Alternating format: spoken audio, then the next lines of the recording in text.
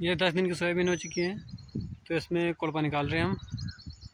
खरपतवार नष्ट करने के लिए।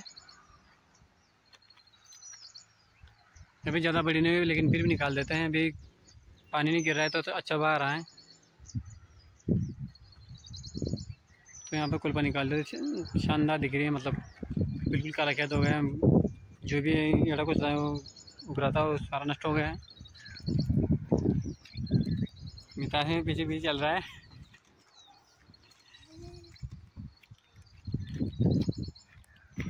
ये मिताज की मम्मी और मम्मी उधर, मेरी मम्मी और उधर कुल्पा निकाल रही है रावटे दे रही उधर।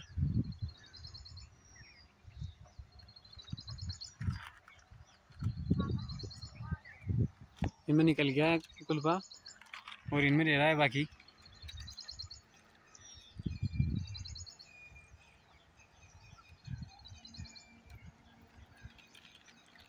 अब कोई बेल तो रखता नहीं है तो हाथ से निकालते हैं हम।